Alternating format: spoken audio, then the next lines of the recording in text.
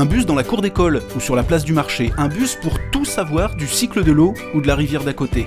À l'intérieur, une fois à bord, on expérimente, on s'amuse, on apprend et on teste ses connaissances. Avec le bus, au fil de l'eau, la nature à ma porte, le syndicat d'aménagement du bassin de la Vienne vulgarise et déplace le savoir pour le plus grand plaisir de tous. Ce bus, c'est vrai que c'est un outil euh, tout à fait euh, inédit dont s'est doté récemment le, syndicat d'aménagement du bassin de la Vienne, un outil qui permet euh, tout à la fois d'aller vers les enfants, les scolaires et vers le grand public pour expliquer ce qu'est la rivière, ce qu'est pourquoi il faut protéger l'eau, pourquoi il faut protéger la ressource, pourquoi il faut protéger le milieu naturel. Et c'est pas toujours simple de transporter une classe au bord de l'eau.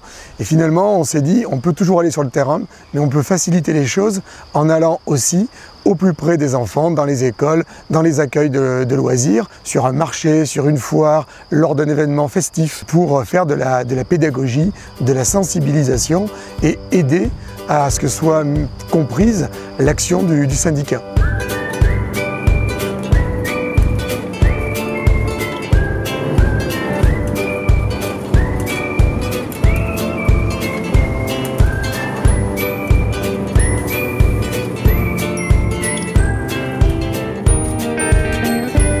On a pris le parti, plutôt que de les amener sur un lieu d'animation, ben, d'amener le lieu d'animation en dans les écoles. Et ben, de cette idée a germé l'idée d'un bus itinérant euh, dédié à l'éducation à l'environnement.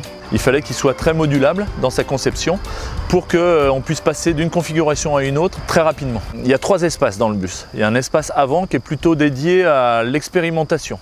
Donc on va travailler avec les enfants ou le grand public à euh, toucher, à découvrir. Un second espace qui est plutôt lié à l'utilisation du multimédia. Et une partie extérieure du bus euh, qu'on a voulu beaucoup plus pédagogique, ludique. Dans, l'idée, c'est que ce bus il puisse être installé en moins de 30 minutes. On a souhaité qu'il puisse être un peu autonome. Donc euh, effectivement, il y a des panneaux photovoltaïques sur le toit. Ce bus maintenant est devenu en fait l'outil qui nous sert à faire la promotion complète de nos travaux pour diffuser un message sur les zones humides, sur les cours d'eau, sur le la biodiversité, sur les milieux naturels. Et on a fait une grosse réserve d'eau. Et cette grosse réserve d'eau, est-ce qu'elle sert à quelque chose?